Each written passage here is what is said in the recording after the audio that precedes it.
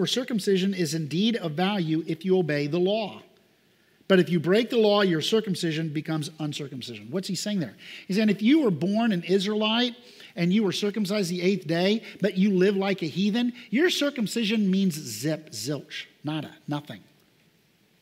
If you're not obedient to the covenant, if you're not, if you're a law breaker, then circumcision becomes uncircumcision. God does God says, Oh, I don't care just merely externals.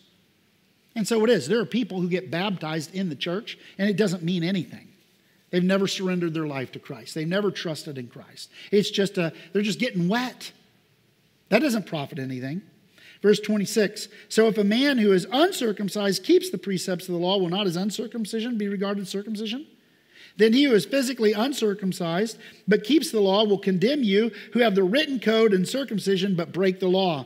For one is for no one is a Jew who is merely one outwardly, nor is circumcision outward and physical, but a Jew is one inwardly, and circumcision is a matter of the heart, by the Spirit, not by the letter.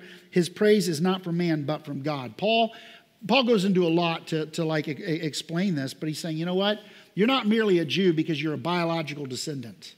He very clearly says you're not a Jew by being one merely outwardly.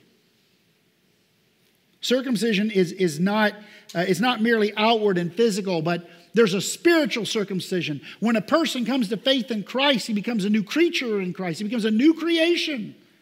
God does a work in his heart. That's what Colossians calls the circumcision of the heart. So, so being a Jew is not merely an outward genealogical thing. I ask people sometimes the question what is a Jew? Today, a lot of people say, well, you're a Jew if your mother's a Jew. I'm always like, huh? Where do you see that in Scripture? I look at the genealogical records and it's father to son.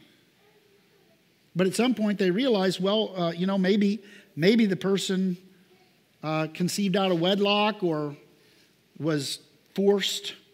And so we're just going to say if your mother's Jewish, you're Jewish. But if your father's Jewish, you're not Jewish. Well, that would make David not a Jew because he had, he had Canaanite and Moabite grandmothers.